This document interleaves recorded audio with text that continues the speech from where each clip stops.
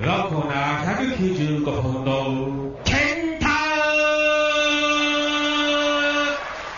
未来へ飛べ。ケンタ270ポン、森島武史。街道森島武史です30分の一本勝負シングルマッチです。なんといってもこの試合のポイントは体力差です。身長が17センチ。そして体重はなんと40キロ。森島の方が上回ります。さあこの体力差をどう補うのか。今日は飛んで飛んで飛びまくるというふうに言っていました。さあゴング。まずは間合いを測ってから。手前が森島です。右の黒のショートタイツが森島。そして左のオレンジのショートタイツが健太です。森島武史がロープへ追い詰めます。健太がロープを背にしている。さあこの状態からすぐに離すのか。これはクリーンファイトです。今日はどんな健太の技も受け止めてみせる。そして潰すという風に言っていました。おっと投げました。40キロの体重差。巻き上げスイング鮮やかに決めたリングの中央。しかしヘッドシダースこれを返していく。序盤は非常に互角の戦いを見せております。オレンジのショートタイツ。健太は173センチ80キロ21歳です。あっとサイドのヘッドロックに叩けてわーっと声を上げたのがこれは健太でしょうか。非常に苦しそうな声が聞こえてまいります。そして一方の森島は190センチ120キロ22歳です。あっと声を上げてのタックル。ロープへ飛んでリップフロック。そしてドラップキックいい形で決まった。もう一発。さあここからどうする？ちょっとまだよろめいている状態だ。ああここから蹴りを払っていく。サマーソルトのような型に行こうとしたんですがこれちょっと汗で滑った。がフレイングメイヤーから。スリーパーホールデーと移行します。意外や意外グラウンドの攻防となりそうです。試合前は飛べるだけ飛んでみたいという風に言ったんですがいざ状況を見て判断したんでしょうか。ハーフスリーパーへと移行しています。健太オレンジのショートタイツは埼玉県の出身です。プロ2年目です。一方の森島は東京都の出身プロ4年目まだ若手の選手とおっとこれはパワーでサイドのヘッドロックロープへ振られない。ああいい表情を見せています。力を込めまして。サイドのヘッドロックあるいはスリーパー気味に決めていく。そして今度はフロント。フロントのネックロックの体勢。当初の予想飛んでいくという言葉とは裏腹にグラウンドの攻防を見せております。さあもう一度離さない。体重40キロの差がある。これは意外な展開を見せました。どんな技を受けてもすぐに潰してみせると言っていた森島ですが意外や意外。序盤は優勢に試合を進めているのはオレンジのショートタイツ。健太です。そしてまたスリーパーという基本に忠実な戦いを見せております。健太は小林健太から7月18日島根松江大会よりローマ字で健太に改名しました。この健太は非常に今年は苦しんでいます。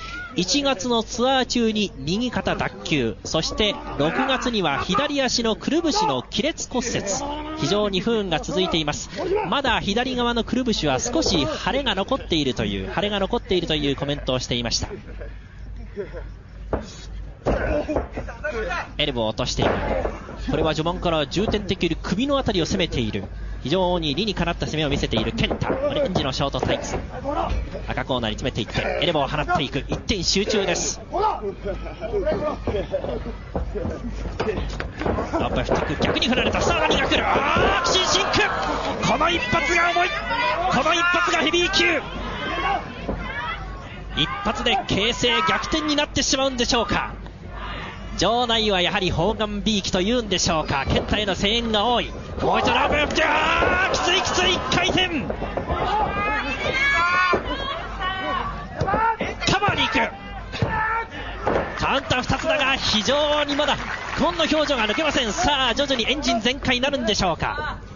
膝のサポーターを直して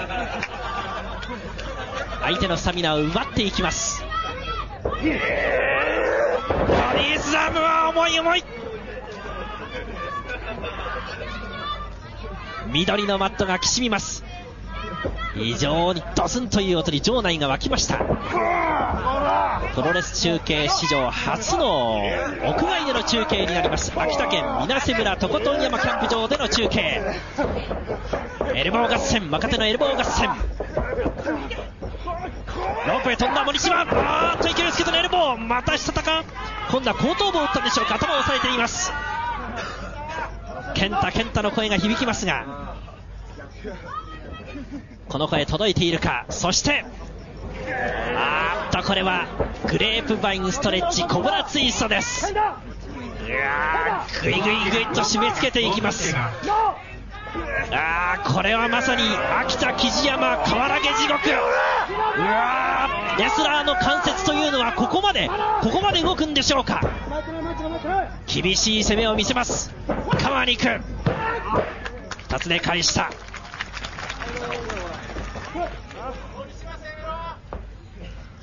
黒のショートタイツ。森島逆水平。森島は4月の12日。大阪で秋山を名手とするスターネスを脱退。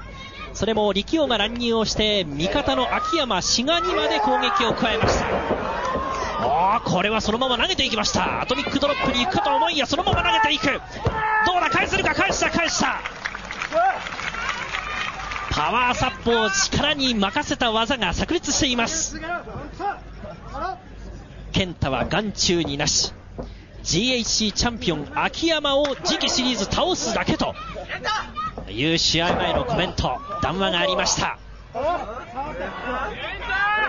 ベクトルは上を向いています。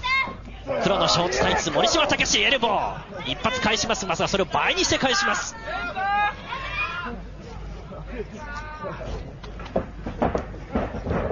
青コーナー振っていってこれを返した。さあどうする？まだ動くことができないか。もう一度蹴っていって。今度はあうまくこれはフランケンシュタイナー投げていった。場外さあ飛ぶか飛ぶか。飛ぶことができるか。いやこれ空中場外。何に行く？エプロンに行った。飛んでいった。トベコンヒーロー。試合前のコメントではなるべく飛んで相手を威嚇したいというふうに言っていたんですがまずは今日1度目飛んでいきます。しかし戦いを場内に戻します。リングの中に戻します。さあ今度赤コーナー。飛ぶか？飛んだ。フライングボディアタック。オレンジの花火が花開く。あっとこれはカウント2つ。秋田とことん山の空に赤い花火オレンジの花火が上がることができるか？今度はスワンダイブ式のミサイルキック。カバーに行った。素早いカバー。どうだ？ああこれはまだ。ことができません。カウント3つ。ああそしてもう一度。今度は何に行く？もう一度ミサイルキック行くのか？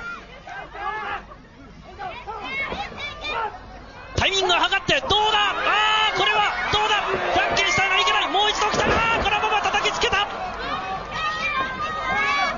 したたか頭を打った。これが力の差なのかパワーの差なのか実力の差なのか。カイナを左右に振って頭を左右に振ってさあエルボーこれを壊した。まだ見えている。まだ死んでいない。フランスキック。さあ何に行く。健太への拍手が山にこだましてこのリングに戻ってまいります。2倍3倍になって耳に届いていることでしょう。スクラップマスターさあ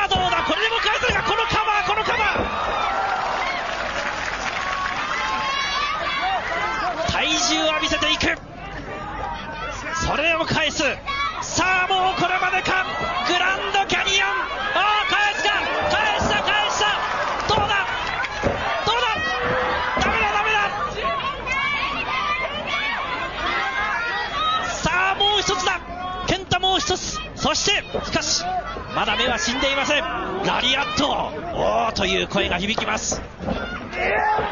ラリアット。さあ仕上げに行くのか。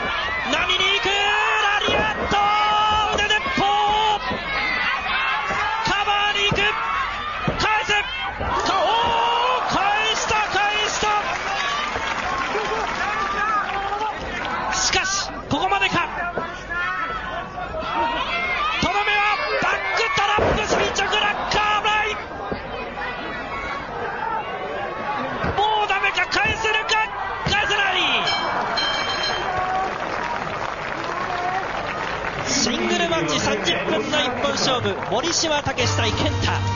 バックドロップからホールを奪っています。森島武史相手の技を受けながら最後はやはりパワーの差そして実力の差を見せつけました